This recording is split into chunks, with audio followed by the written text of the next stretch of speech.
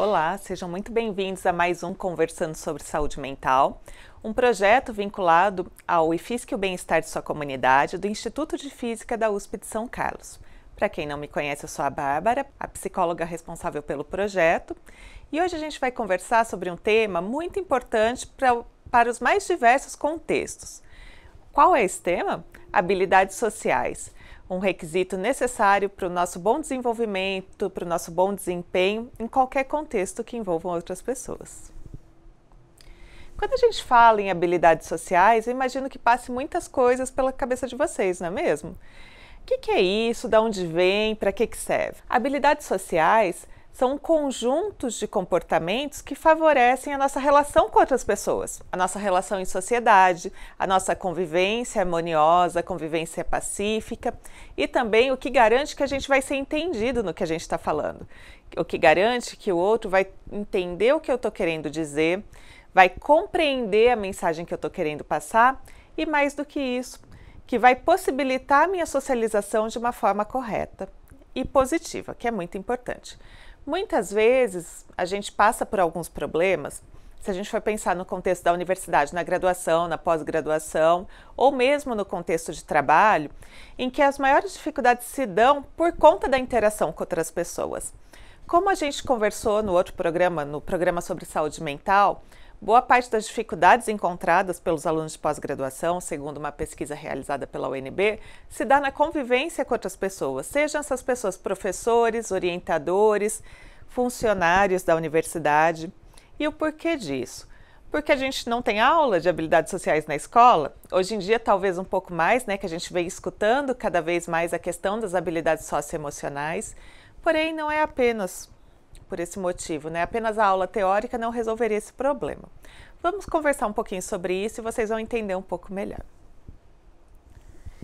Então, o que, que são as habilidades sociais?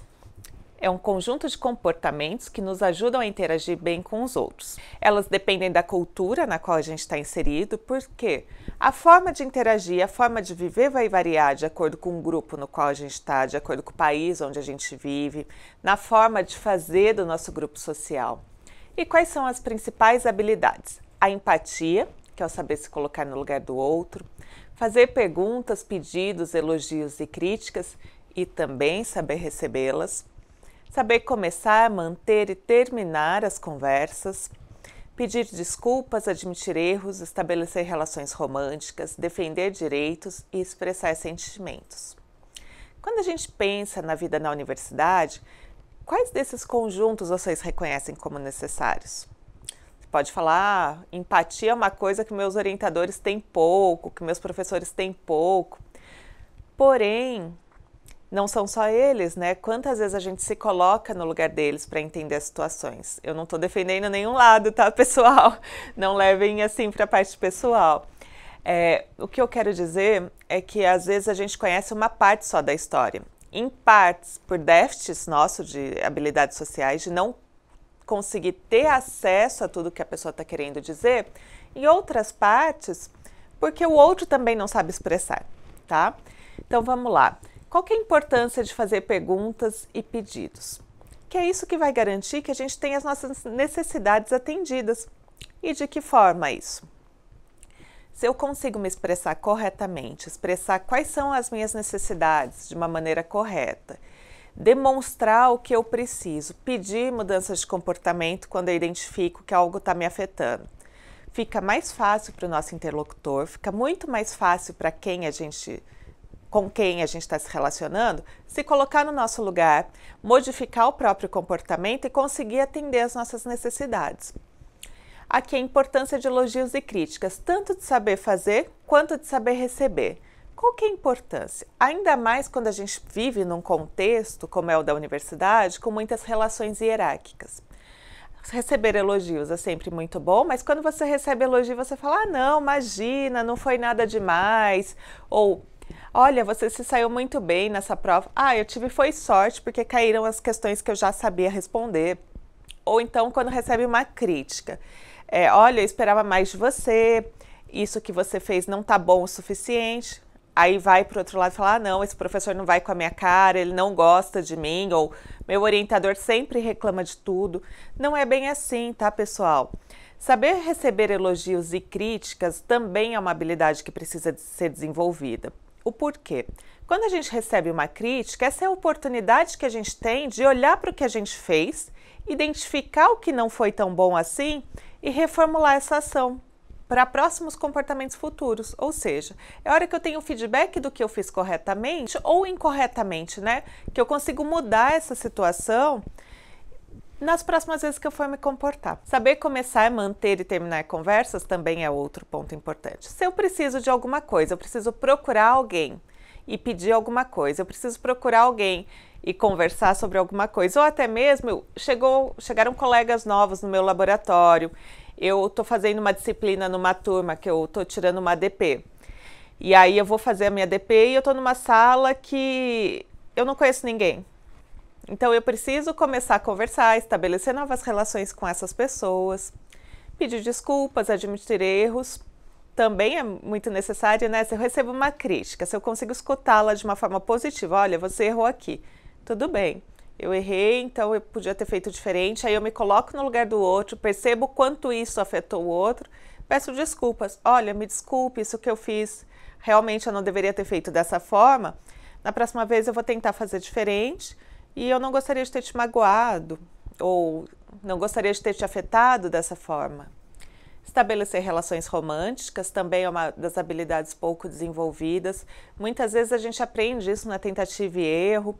Para as pessoas que são mais tímidas ou que estão de alguma forma em algum espectro do autismo, né? Tem graus muito leves de autismo que dificultam também isso.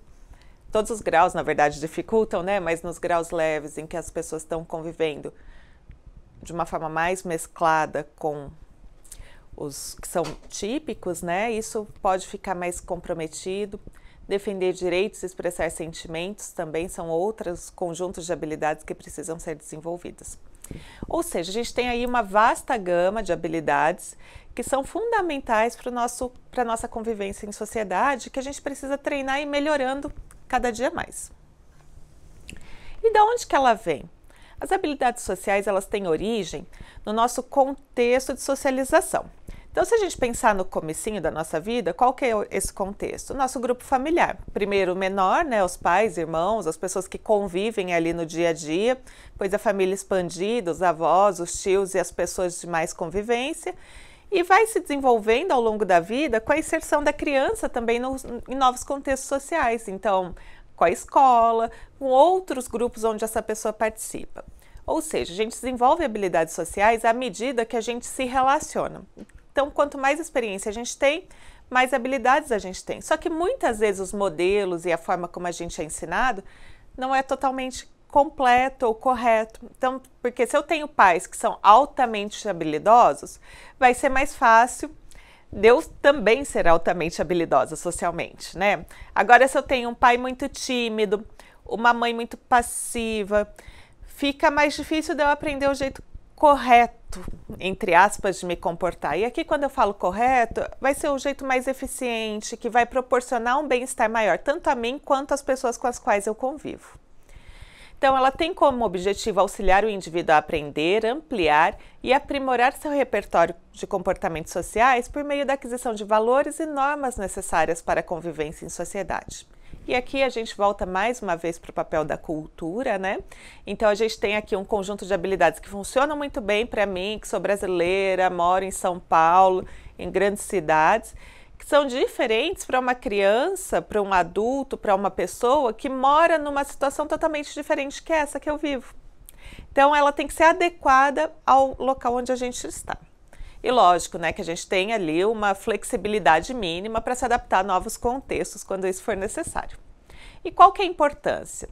As habilidades sociais não estão somente relacionadas ao desempenho profissional, ao ajustar o indivíduo na instituição, mas também ao bem-estar físico e psicológico, podendo garantir a esses um processo de socialização saudável e satisfatório.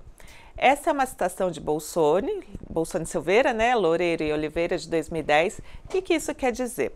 Quando fala que tem relação com, a, com os aspectos de bem-estar físico também, A gente falou outro dia, né, no programa sobre saúde mental, da importância da saúde mental, dos elementos de saúde física mesmo, e de que forma as habilidades sociais poderiam impactar no bem-estar físico.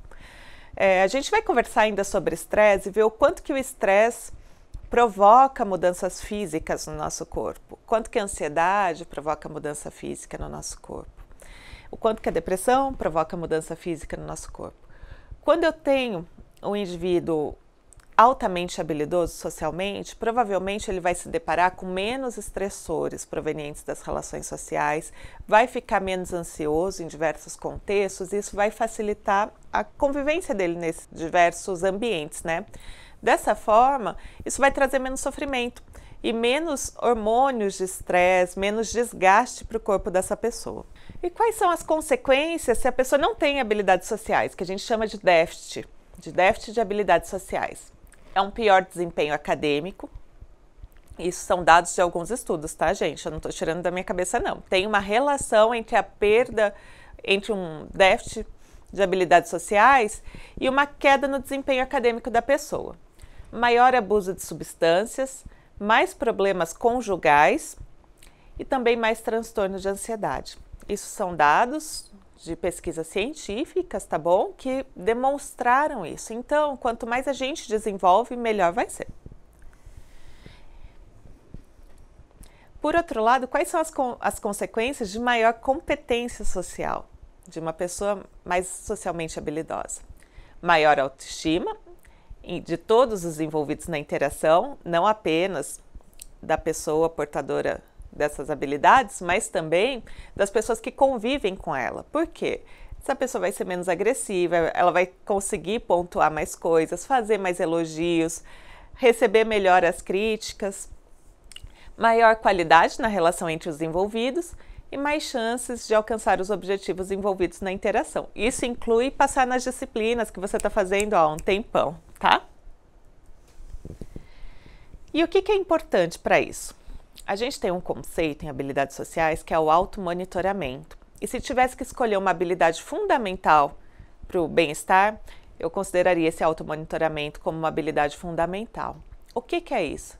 É a capacidade de observar, interpretar e regular os próprios pensamentos, comportamentos e sentimentos ao interagir. O que, que eu quero dizer com isso? É hora que você observa o que você está fazendo, quais são as consequências do que você faz, o que você fez de certo, o que você fez de errado.